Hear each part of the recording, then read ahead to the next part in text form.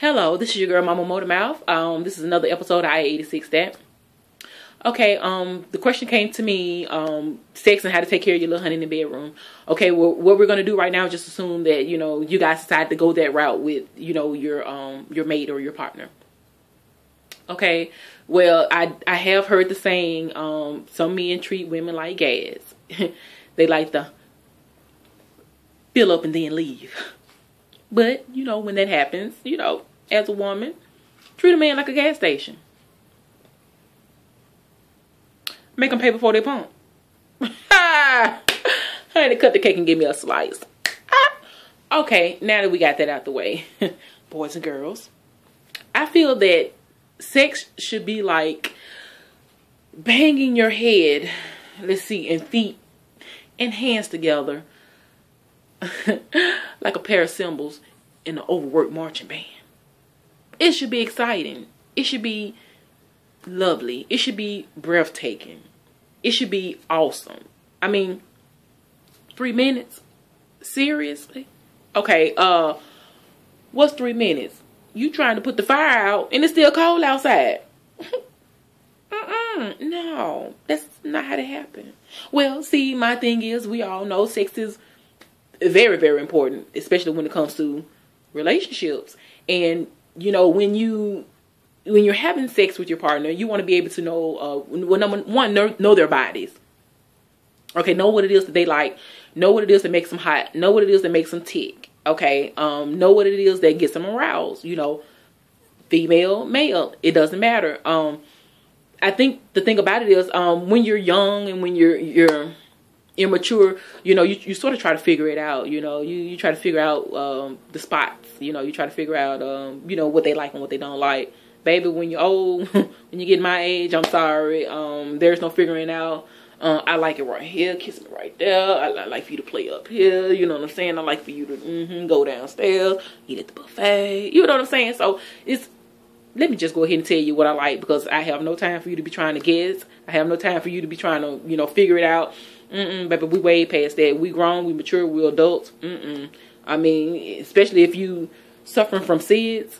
I'm sorry. That means small infant dick syndrome. I'm sorry, y'all. But, I mean, that, especially when you're suffering from that, whoo, it's a lot more extra that you're really going to have to do. Um, I help my guys out. Um, I teach them, teach them about um, as far as like helping to grow their penis you know of course you have all these medicines and ads and you know you got them you know the, the porn websites and you know they have all this other different stuff that they try to you know advertise that you know to give you a bigger package you know you grow six inches in three months and da da da and and, and I understand, but I like to take the, um, I guess you could say the natural method. So for all the men out there, um, go to the adult bookstore or go to the sex shop. They actually have um, penis pumps, you know, dick pumps, whatever you want to call them. But they have those pumps, and it does grow your penis naturally. Um, they're very easy to use. Uh, I'll do a tutorial on that um, at another time.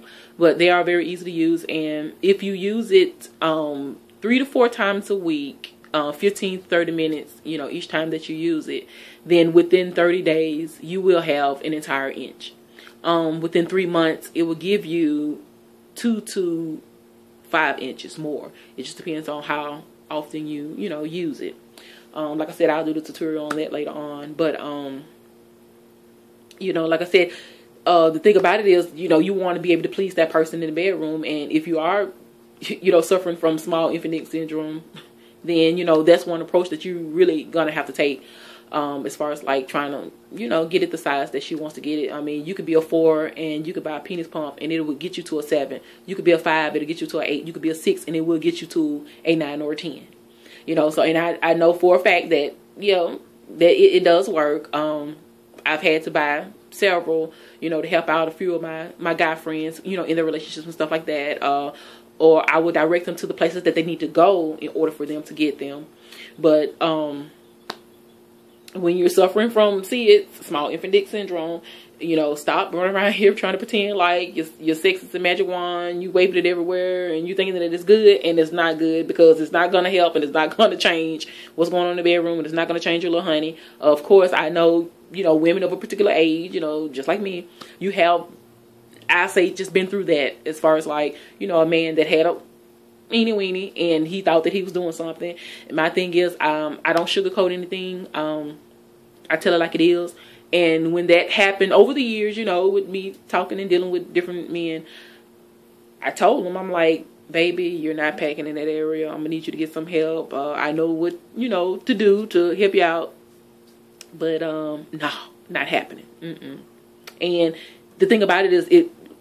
I know it may have been insulting, but um, they did tell me, you know, later on that it helped them. Um, the reason why the women was cheating and stuff like that was because of the simple fact that they didn't have big enough package and um, they were too embarrassed to say anything. You know, they didn't want to say anything to them. And well, like I said, um, when you of a particular age, you too grown for all that, baby. Just go ahead and say what you mean and mean mean what you say.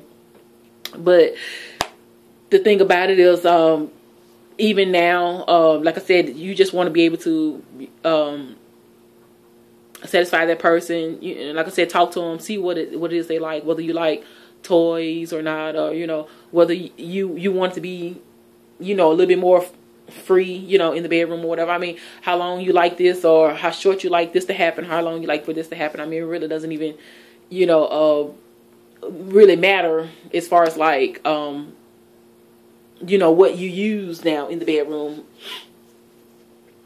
uh, it used to be a crime to, oh, you use the dildo you use the vibrator, blah, blah, blah. Mm, please, you know, it's time to evolve. You know, like I said, you have to use a little bit of everything because nowadays, uh, sex is like a gas station. You know, sometimes you get full service. Well, uh, sometimes you got to ask for service. Sometimes you got to be happy with self service. You know what I'm saying? I mean, do it yourself. So, I, mean, if you want to be spectacular, like I said, then you find out what that person like.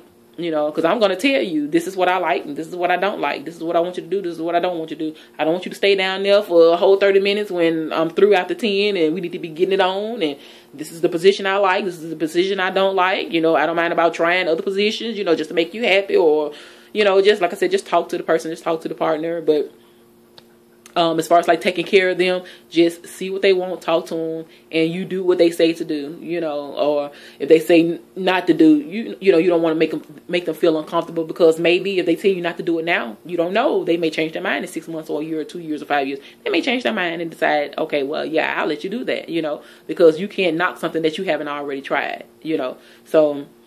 Um, those are my little snip, snippets for today, and um, I love you guys, and hopefully, you know, that helped. But this is your girl, Mama Motormouth. Deuces.